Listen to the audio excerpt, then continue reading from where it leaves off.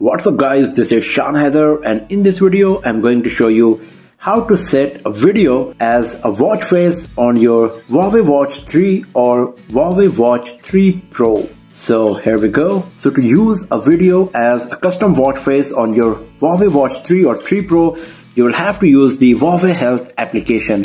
So first of all, you have to go to the Huawei Health, just launch it. After that, you have to go to the devices section here, tap on that go to your specific smartwatch scroll down go to the watch faces section tap on more and after that tap on this mind tab. So here you can see one of the watch face is video. And you can see that the same video is being played that is showing here in the thumbnail. But the good thing is that that Huawei is providing multiple videos in one watch face. So for example if I tap on the screen here on my watch face it will change so you can see it's not just one single video in the watch face just like the pictures you can have multiple videos in one single watch face on Huawei Watch 3 and Watch 3 Pro. So these are the pre-installed videos.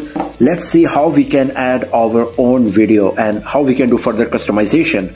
So if I tap on this video watch face here, so you can see that these are the watch faces pre-installed that Huawei is providing. If you want to make any changes in this, then you can go to style and then you can select any font that you would like and based on that it will be changed on your device as well. You can also select the layout whether you would like the text to appear at the top or at the bottom. It's totally up to you. And then you can go to the features as well and select what exact feature you would like to appear on the watch face, whether the battery, or the step count, um, alarm, how much active you were, uh, heart rate. Depending on your preference, you can select any of them. And once you tap on save, then it will be saved. So let's give it a try. I'm going to change the font just to give you exact idea.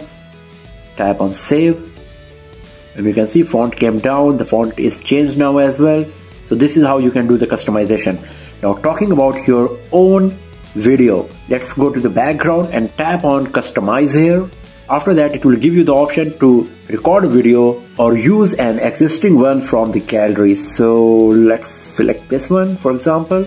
So the maximum size can be 10 seconds for a video. So I'm just gonna keep it like this. and here we go so you can see there is a kitty added in this watch face and I can even reselect it so I can only have one and rest of them will be these. So if I tap on save here now, you can see that it is showing transferring video. And here we go. So the kitty is coming on my watch face now. Once again, if I tap, rest of the videos are still there. And my kitty is added as well. But the good thing is that Huawei is providing multiple videos for the watch face.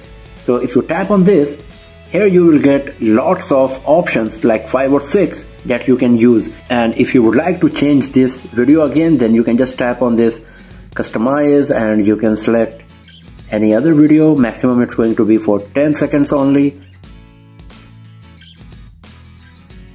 And now if I just tap on save then this video must appear here on my watch face now